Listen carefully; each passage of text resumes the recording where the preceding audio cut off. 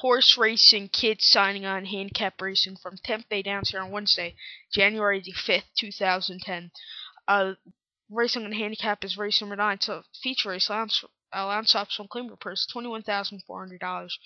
Fillies mares, four year olds and upwards, number one, two races.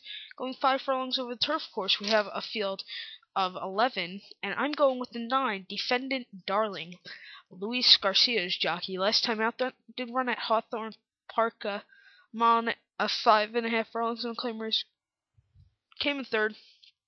Then at Hawthorne, five and a half claimers at seventh.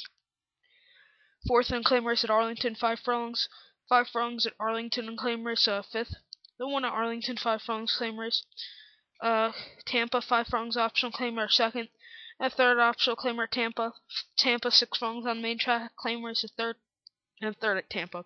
I'm going with this one, sir. And if so, going with this one, so recap my bets for race nine from Tampa Downs. Going with nine.